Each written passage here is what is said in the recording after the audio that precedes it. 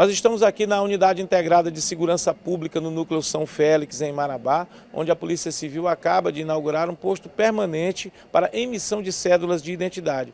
É uma iniciativa importante porque os moradores deste lado da cidade, onde há cerca de 60 mil habitantes, são historicamente isolados do restante da cidade, muito por conta da ponte rodoferroviária do Rio Tocantins. Diante disso, a Polícia Civil resolveu então trazer esse atendimento para as pessoas que vivem aqui. E nós conversamos com o delegado Vinícius Cardoso das Neves, superintendente regional de Polícia Civil, que nos explicou um pouco sobre essa iniciativa e sobre o atendimento. Esse posto agora ele é definitivo, é um patrimônio dessa região de Marabá.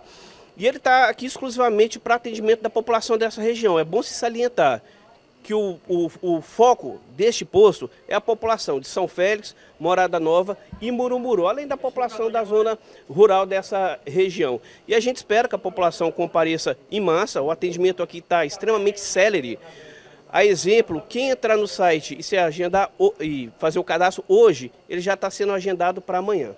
E entre os moradores do São Félix e de Morada Nova, a alegria é grande, pois não terão mais que se deslocar até a Nova Marabá e enfrentar longas filas em busca de atendimento. Olha, cara, estou gostando, muito bom, muito bom. Eu não tinha vindo aqui ainda, tô...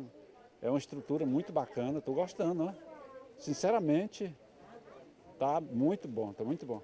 Eu passei agora na Estação Cidadania, lá já tinha umas 300 pessoas mais, e aqui esse pouquinho de gente, coisa muito boa. A intenção da Polícia Civil é realizar inicialmente 20 atendimentos por dia. Os documentos necessários para solicitar a primeira via da identidade são a certidão de nascimento ou de casamento originais, duas fotos 3x4, comprovante de residência e CPF.